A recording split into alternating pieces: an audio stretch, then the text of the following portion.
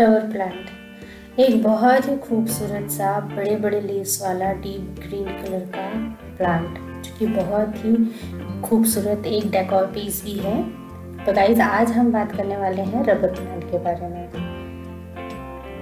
आप सभी का स्वागत है मेरे चैनल घर गैलेक्सी में, और आज हम रबर ट्री के बारे में बात करेंगे। तो रबर ट्री गाइज़ एक इंडोर प्लांट है, जो कि बहुत ही खूबसूरत, बहुत ही अच्छे एक होम डेकोर डेकोर पीस है जो कि बहुत ही खूबसूरत है। आ, साथ ही ये बहुत ही लो मेंटेनेंस प्लांट है जिसमें आपको मेंटेनेंस की बहुत ज़्यादा ज़रूरत नहीं पड़ती है बहुत ज़्यादा केयर करने की ज़रूरत नहीं पड़ती है। बस कुछ बातों का ध्यान रखने की ज़रूरत है बस। तो ये है हमारा रबर प्लांट मेरे पास ब्लैक रबर प्लांट है, जिसकी जो पत्तियाँ होती हैं, वो डीप ग्रीन कलर की और पीछे की तरफ़ से बरगंडी कलर की होती हैं। गैस मेरे में इसके और भी वेरिएंट आते हैं, बहुत सारे वेरिएंट होते हैं, लेकिन मैं जहाँ नर्सरी में लेने के लिए गई थी, वहाँ पे सिर्फ़ यही एक वेरिएंट अवेलेबल था, इसलिए मैंने इसे परचेज़ किया है। और खैर, इसकी सारी टाइप्स के जो भी जितने भी टाइप्स के इसके प्लांट्स आते हैं, वो बहुत ही खूबसूरत लगते हैं। आप घर में अगर एक डेकोर पीस रखना चाहते हैं एज अ प्लांट एक डेकोर पीस लेना चाहते हैं तो ये बहुत ही बेस्ट ऑप्शन है। जैसे देख सकते हैं, ये ब्लैक रबर ट्री है। और साथ ही इसमें वेरीगेटेड रबर प्लांट भी आते हैं, जैसे कि ये पत्तियों में शेडेड होते हैं। बहुत अलग अलग कलर के होते हैं, जैसे पिंक हो गया वाइट हो गया, और एक लाइट ग्रीन एक ग्रीन कलर का भी रबर प्लांट होता है। तो बहुत सारे वेरिएशन होते हैं इसमें, सारे ही बहुत ही खूबसूरत होते हैं। फ़िलहाल मेरे पास एक ही है, ये ब्लैक रबर प्लांट तो इसकी बड़ी बड़ी पत्तियाँ और पीछे की तरफ़ से बरगंडी कलर बहुत ही खूबसूरत लुक देता है। और ये सिर्फ़ वर्टिकल ग्रो ही करते हैं। अगर आप चाहते हैं कि इसकी ब्रांचेस और ग्रो करें तो इसको ऊपर की तरफ़ से हम कट करेंगे। ये देखिए, यहाँ से नई पत्तियाँ निकलेंगी। तो अगर हम इसे और ब्रांचेस चाहते हैं तो यहाँ से हम इसे कट कर देंगे, जिससे इस तरीके से नए ब्रांचेस ग्रो कर जाएँगे और आपका जो रबर ट्री है, वो बुशी जैसा हो जाएगा। एक अच्छा कई ब्रांचेस के साथ में आपका रबर प्लांट हो जाएगा। लेकिन मैं जब ये प्लांट खरीद कर ले आई थी तो ये काफ़ी बड़ा हो चुका था, जिसकी वजह से मैंने इसे नहीं कट किया है।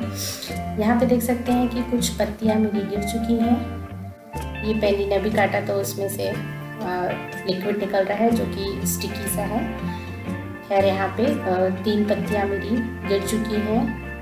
इसका कारण ये है कि मैं जब इसे लेकर आई थी तो मैंने इसे, क्योंकि ये इंडोर प्लांट है और इसे एक छनी हुई धूप की ज़रूरत होती है, मैंने इसे घर पे रख दिया था। हालाँकि मैंने इसमें जो मिट्टी है, ये सब बिल्कुल ध्यान से डाला था, देख सकते हैं, अभी भी वही मिट्टी है इसमें वेल ड्रेंड पॉटिंग मिक्स होता है इसमें, जिसमें रेत होता है।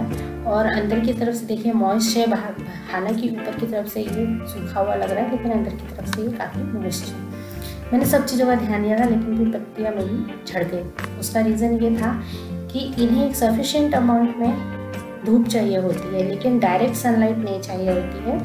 सनलाइट ऐसी चाहिए होती है कि जो कि छनी हुई हो, या तो आपका जो बालकनी या आपका जो घर है, वहाँ से कर्टन की थ्रू धूप आ रही है और स्पेशली आफ्टरनून के बाद का मतलब बारह बजे के बाद की धूप इसके लिए बहुत ज़्यादा नुकसान करती है। इसकी पत्तियाँ बीच बीच से जल जाती हैं, जिससे इसका लुक बिल्कुल ख़राब हो जाता है। अगर इस रबर ट्री में इसकी तो स्पेशल स्पेशलिटी ही है, इसकी लीव्स की इसकी लीव्स जो है बड़ी बड़ी और बहुत ही ग्लॉसी सा शाइन देती हैं, जो कि आपके घर में बहुत ही खूबसूरत सा टच दे जाती हैं। लेकिन अफसोस मेरे घर पे, मेरे जो लिविंग एरिया था, वहाँ पे धूप इतनी अच्छी नहीं आ रही थी, जिसकी वजह से इसके लीव्स झड़ने लगे थे। तो मैंने इसे अपने एंट्री गेट की तरफ़ में इसे रखा, जो कि पूरी तरह शेडेड है, और नाउ इट्स फाइन बहुत ही अच्छा काम कर रहा है, कोई दिक्कत नहीं हुई है तब से। और बहुत ही लो मेंटेनेंस प्लांट है, इसमें आपको सिर्फ़ पानी का ध्यान रखना है और खाद का, इससे ज़्यादा कुछ भी नहीं ध्यान रखना है। हाँ एक स्पेशल चीज़ है कि आपको इसकी पत्ती को क्लीन करते रहना पड़ेगा बीच बीच में।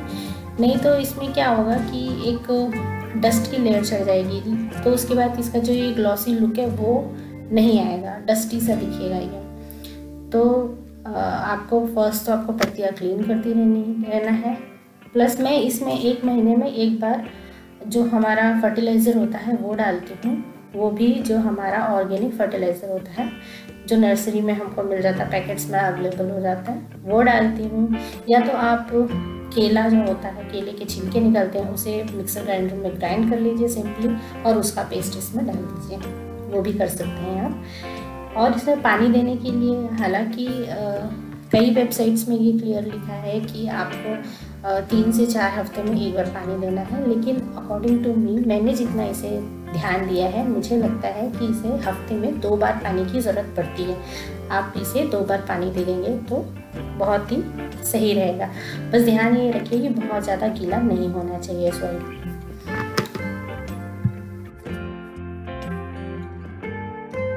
और बहुत ही खूबसूरत है, बहुत ही ब्यूटीफुल लुक देता है। अगर आपके पास नहीं है तो जल्दी से इसे बाय कर लीजिए। बहुत ही खूबसूरत लुक देने वाला है आपके घर को।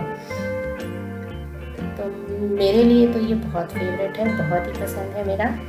साथ ही ये वर्टिकल ग्रो करता है तो इसको जब एक एक हाइट मिल जाती है देन उसके बाद इसे सपोर्ट की नीड होती है, क्योंकि ये वर्टिकल ग्रो करता है। तो इसके सपोर्ट के लिए अभी तो मैंने कुछ नहीं लगाया, अभी इसमें नीड नहीं लग रही है मुझे, लेकिन शायद ये थोड़ा सा और बड़ा होगा तो मुझे इसमें सपोर्ट लगाना पड़ेगा।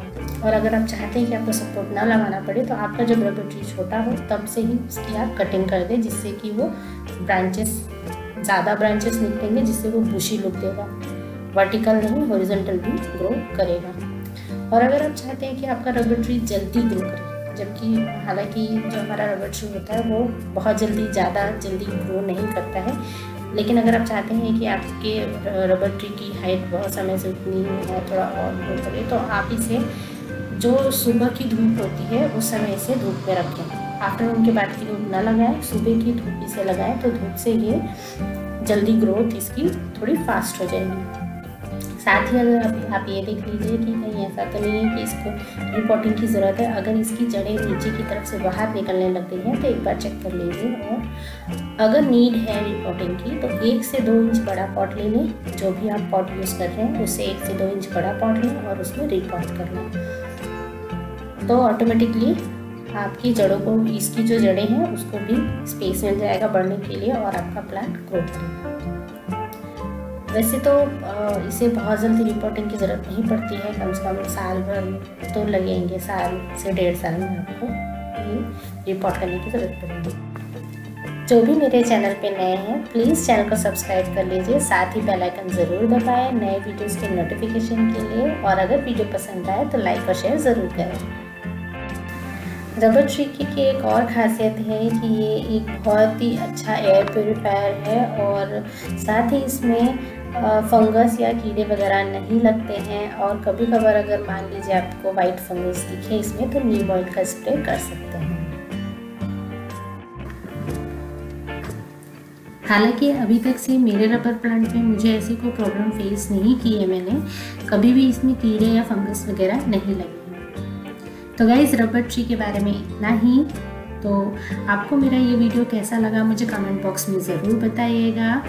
साथ ही मेरे चैनल को लाइक, शेयर और सब्सक्राइब ज़रूर करिएगा। तो गाइज़ नेक्स्ट वीडियो में मिलते हैं। तब तक के लिए बाय बाय